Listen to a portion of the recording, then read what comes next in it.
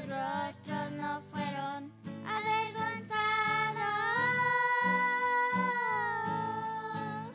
Ramó el pobre y Jehová le oyó, y de todas sus angustias lo libró.